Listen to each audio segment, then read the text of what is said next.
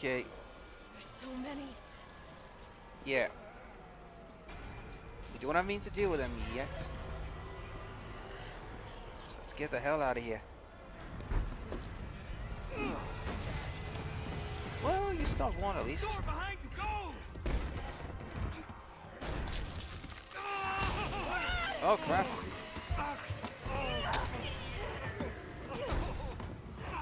Don't think about it. Come. We know how this ends. No, I don't. Are we still a team? Always. Then do me a favor. Don't fuck up like I did. Go! Right, have they changed Brad's death? Because in the original Resident Evil 3 game, Brad died to Nemesis. He didn't die to a Zombo. Oh, gun. Thank you. Sorry. Yeah, he died to it. He died to the um. Uh, did he die? Uh, right. I'm. Right, I'm not gonna fire the bullets. I'm not gonna waste my time firing bullets at you, buddy. I'm getting the hell out of here. Crap. Now, I'm gonna mention, guys. Like I said, I played a little bit as earlier, so I'm, I'm a bit aware. But also, to let you all know, I haven't pl- I haven't looked at any spoilers or anything. I've I'm playing this mostly blind. There! Get to the parking garage roof! Yep, thank you. Parking garage. Got it. So, like I said, I'm not blind in this part, but the rest of the game I am. Sir, are you alright? Stay back! Don't come any closer! What's wrong with Hey, you? come on. There's a helicopter waiting to take you to safety. What safety? I'm not going out there! The parking garage isn't far. I can The take only you safe place is in here!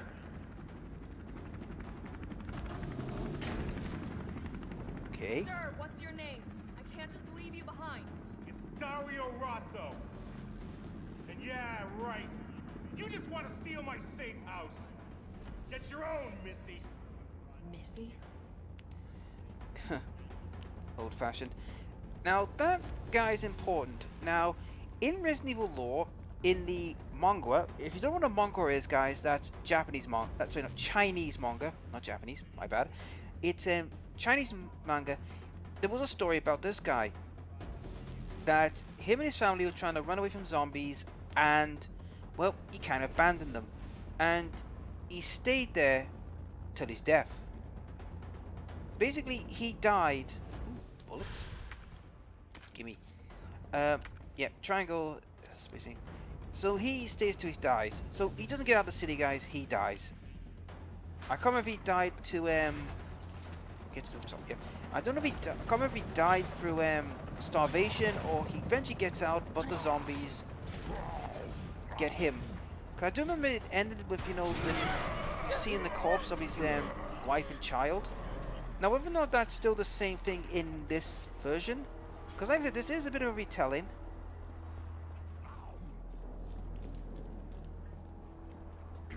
Okay, time to take the elevator. Up! Ah, bloody hell. Zombos! Yeah, I'm not wasting bullets on you two.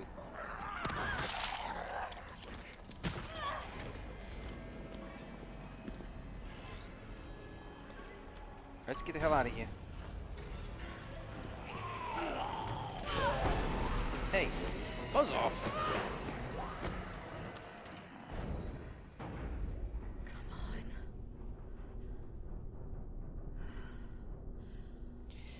So yeah, I will try and show some Easter eggs as much as I can and explain them as best I can.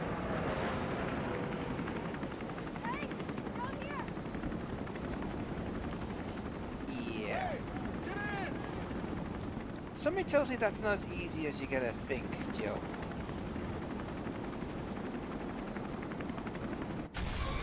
What the?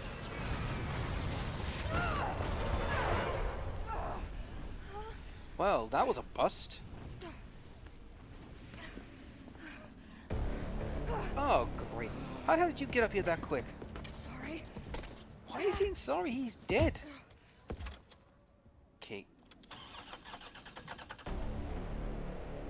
come on. You know, Nemesis is quite an agile guy if he can climb up a building that quick. It's my turn, bitch! Man, Jill, you've got quite a potty mouth. Nick, it off me, you asshole! What the? Okay. Two things we need to talk about here. One, a car just fell on top of Nemesis. How the hell is he not being cleaved in half or have his innards crushed? I don't know. And how is Jill even conscious? Doing that would knock you silly. I don't care what you say.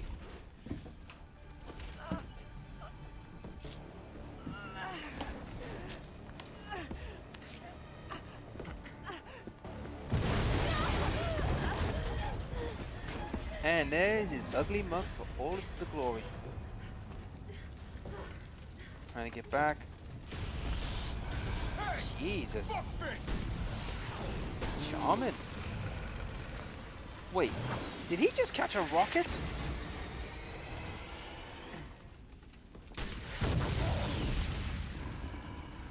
Um, okay. how does he alive? Normally when it comes to big monsters, Easy, lady, I got you. rockets usually are kill you? them. What are you doing? Carlos, I'm saving you. Come on. Oh, hello, Carlos. There's the other protagonist.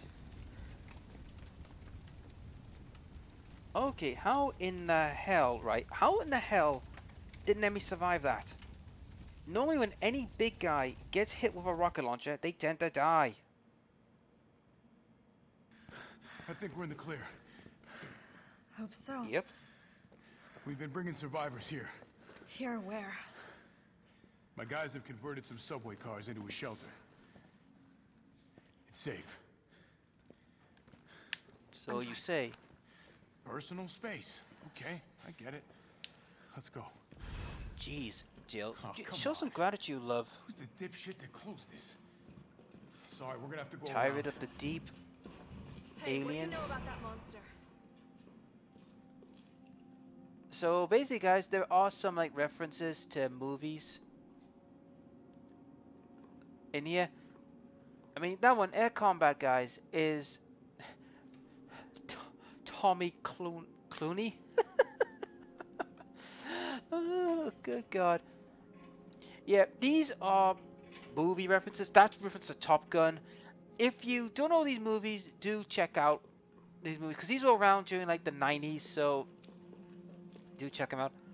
Skull Stalker, which is Terminator, so pretty much like that. Nothing. I've never seen anything like it.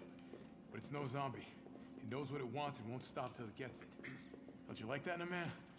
No thanks. He's all yours. Listen, I promise you're in good hands. I'm with the Umbrella Biohazard Countermeasure Service. UBCS for short.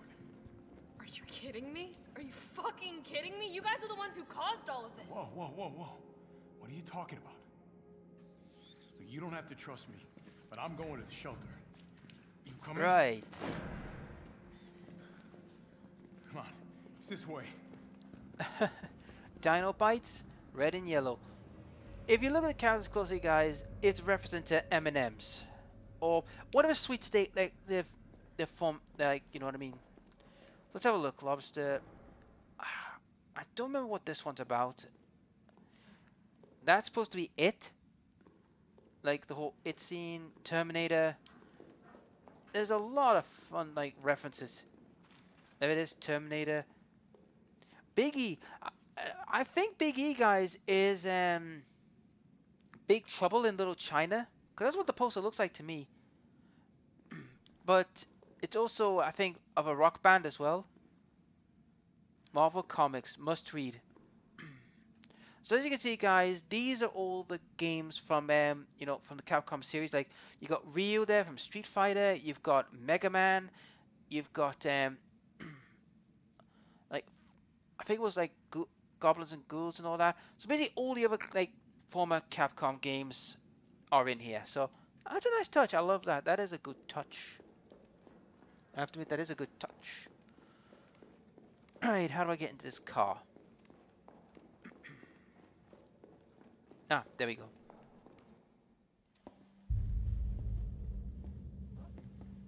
Hey, Captain. This fine young lady could use our help. Carlos, you didn't even think to ask fine young lady her name? She is an elite operative of RPD, Special Tactics and Rescue Service. Her name is something Valentine. It's Jill. Nice to meet you, Jill. I am UBCS platoon leader Mikhail Viktor. My team was sent here to rescue civilians. Right. How's that going for you? The city is completely cut off, isolated. Most of the hundred thousand civilians will wind up dead. Uh, correction, undead. My platoon has suffered serious losses. Just keeping them alive is more than I can manage. Well, you can thank your corporate overlords for that. Yes.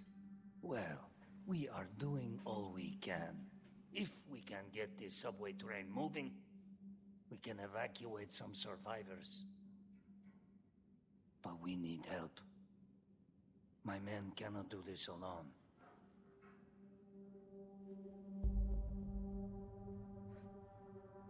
All right. I'm in. But I am on their side, not yours. Oh, hey. It's cool. We all want the same thing. Thank you, Jill. All right, Super Cop. Here you go. We can use this to stay in contact. I know what a radio is. My oh my, what a socky bitch. First things first. We need to get you geared up. Head up to street level. You'll find supplies there. All right. Jill, you're a bit of a socky bitch, but I can understand her reasonings, but still, you know, you're in a crisis situation. I wouldn't be too, you know, you know, socky about it.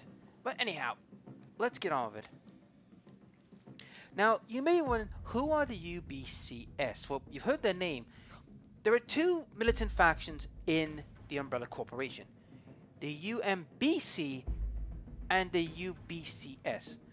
The UBC is basically they're basically paramilitary who will help people, right? However, the UMBC, however, are the Black Ops version, such as Hunk. Hunk is part of that group. They're meant to be like the fir- like the face, like they're meant to help people if something goes wrong and everything. Supposed to be like paramilitary and all that. Tells you about the handgun thing. So I'm happy they kept that in the whole, you know, making handgun, you know, part. Because that's good. That's good thing to get. Because that was a thing in the original Resident Evil 3 game. Because you had to go around making your own bullets. Now, in the original Resident Evil 3, you had, I think it was C, triple C, triple B, let's say triple C, C, triple B, B, triple A, A types of like making materials make bullets and that's how you got your bullets for various guns. Right, what's this? Towerly front page.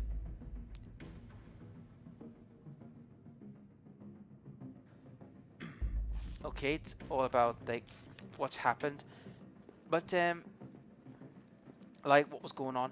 Now, if you're wondering what the timeline is in this game, I'll explain the timeline. The timeline is you have the mansion incident, then in July, and then Jill? Oh. It's me again. You topside yet? Working on it. So what's the plan? The old tanks got me clearing the tracks. You might get the subway infrastructure back online. And how do I do that? Let's start by restoring power. I'll navigate you to the substation once you hit the main road. Copy that. Let's do this fast. yeah, that was on the controller, guys. If you didn't hear it, but as was saying, oh, excuse me, you had the mansion incident first, and then you had this incident, which happened about two months later, and then what the hell's that?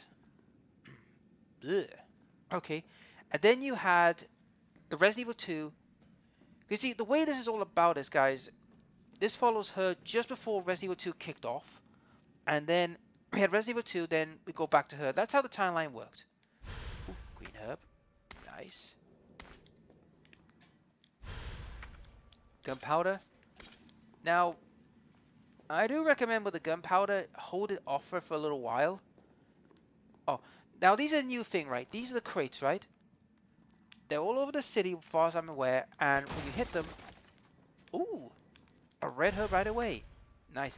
I didn't open this one, like I said, but like I said, I was doing all these testings. Right, I need a key for that. Combine items. Yeah, yeah, I'm aware. First red green herb.